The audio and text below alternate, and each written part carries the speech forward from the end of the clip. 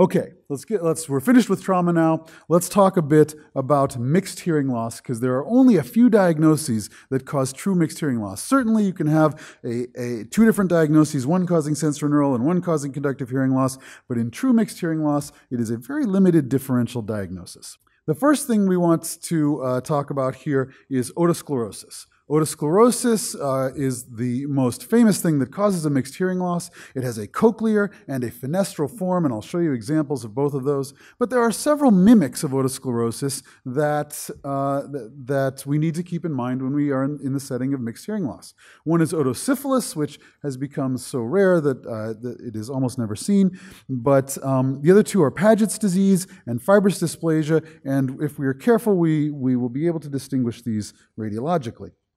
Here's our first example of otosclerosis. You must look very carefully for otosclerosis because it's often very, very subtle. When you hear the history mixed hearing loss, that's your cue. That is going to, to, uh, to remind you to look very carefully in this one particular location, this triangle of bone between the vestibule and the cochlea, that triangle of bone is the region where the, the normal structure, the fissula ante fenestram, lives. Now, we can't see the fissula ante fenestram, but we know it lives there, so we call this the region of the fissula ante fenestram, and that is where the fenestral form of otosclerosis is. This piece of bone right here, this triangle of bone, should be exactly the same density as the rest of the otic capsule. And you see here that it is too lucent. That is otosclerosis. Some radiologists like to use the term otospongiosis here, but I've found that the surgeons don't care for that term. Here's another example of fenestral otosclerosis. And again, how, to show how subtle this is, it's this triangle of bone right here. Should be just as dense. There's another example, fenestral form. Now, there's another later form of uh, otosclerosis. This is cochlear otosclerosis. And in this case, it's a more severe disease. You see a halo of lucency all the way around the cochlea. You can see it in, this, uh, uh, in the coronal plane here. If you see it on MRI, there is abnormal enhancement all the way around the, otic, the periphery of the otic capsule. This is the more severe, the more advanced cochlear form of otosclerosis. Now, there's a couple things that can look a lot like otosclerosis and can cause lucency in the, um, in the inner ear, but we don't want to mistake for otosclerosis because we see them in the setting of mixed hearing loss. If you look carefully, that triangle bone, the region of the fissula ante fenestram, is too lucent in this case, but so is everything else. And that is our clue that we're dealing here with Paget's disease and not otis, just, uh, just otosclerosis. Fibrous dysplasia is uh, another lesion um, that can cause a lucency surrounding the, uh, uh, surrounding the otic capsule. In something this extensive, I don't think anyone would be fooled. You've got all these areas of ground glass, classic fibrous dysplasia. Fibrous dysplasia usually spares the otic capsule, and um, so, so this is a, a, good clue. But this can also cause mixed hearing loss and uh, will be on our, on our differential diagnosis. Okay, let me speak specifically about one particular diagnosis superior semicircular canal dehiscence. Superior semicircular canal dehiscence presents with a symptom called Tullio's phenomenon. Tullio's phenomenon is dizziness in response to, to a loud noise. So, for example, someone will walk into a party and suddenly get dizzy. Or a truck driver might say, When I walk down this side of my truck, I get dizzy, but this side I'm fine. And it's which ear is closest to the engine, is causing the, the noise causing the dizziness. Tullio's phenomenon used to be associated with otosyphilis, but as otosyphilis has diminished in, in frequency, uh, we've started to associate it more with superior semicircular canal dehiscence. So, what's superior semicircular canal dehiscence? That's when there is a hole in the bony covering that normally covers the superior semicircular canal. So pressure can go from the semicircular canals into the, um, into the, uh, the cranial vault and there can be transmission of pulsation between the inner ear and the intracranial vault. This is called a third window phenomenon. We should only have two windows. We should have a round window and an oval window into the inner ear. And the, the, the reason you have a round window is so that when you press on the oval window with the stapes, the round window allows that fluid to shift. It's a carefully orchestrated scheme that allows this fluid to shift in one uh, window and come out the other. If you add a third window on that superior semicircular canal, it's all messed up. And, the, and those vibrations, instead of a, a nice, neat shifting of fluid, instead the fluid comes out here, it doesn't shift right, and the whole, the whole system is messed up. So it's that third window phenomenon that allows this to happen. Now, many people have advocated for the planes of Stenver and Pöschl as a way of carefully looking for superior semicircular canal dehiscence, and I'll show you what it looks like in those planes.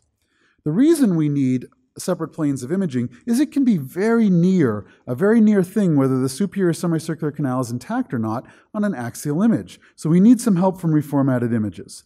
So we are going to take reformatted images along the, uh, along the superior semicircular canal and perpendicular to the superior semicircular canal.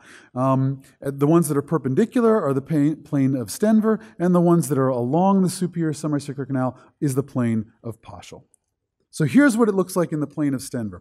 This is a normal superior semicircular canal, a nice bony covering on top of it. This one, dehiscent semicircular canal, you can see there's no bony covering on the top of the canal. Plane of Pöschl, same idea. Here is a nice bony covering over the superior semicircular canal, and here there is a gap over the top of the superior semicircular canal. But now I'm going to let you in on a secret. You don't need the planes of Stenver and Pöschl.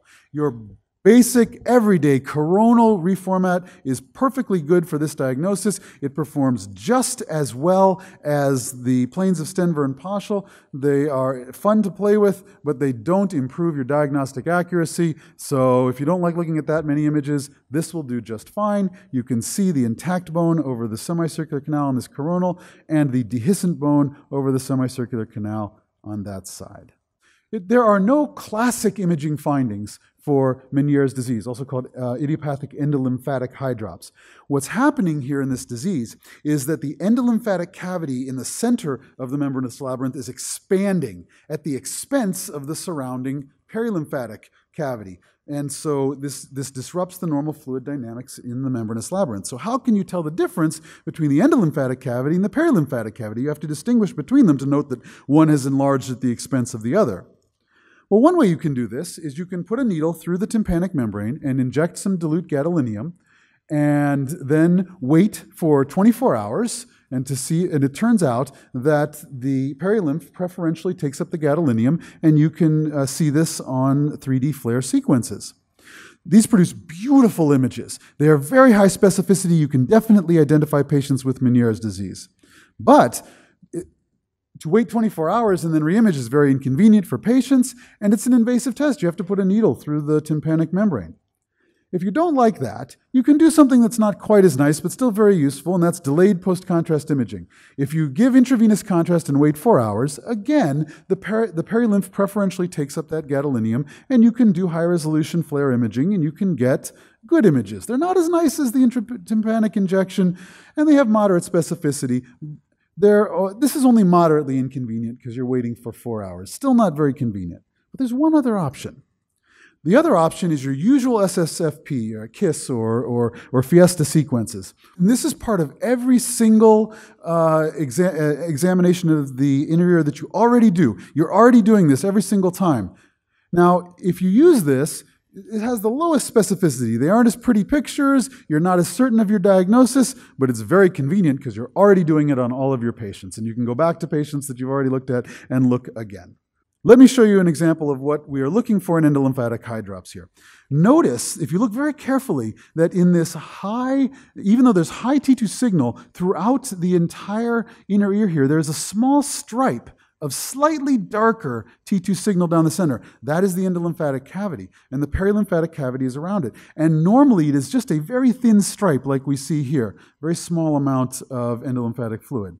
If that endolymphatic cavity expands and more than about one third of the vestibule is, uh, has, has endolymph in it, and now you can see how much larger the endolymph is here compared to here at the expense of the perilymph, that is suggestive of Meniere's disease. Not diagnostic, It's not as good quality as these, these, these contrast images. It's not diagnostic, but you can suggest the diagnosis, and the patient may go on to more confirmatory clinical testing.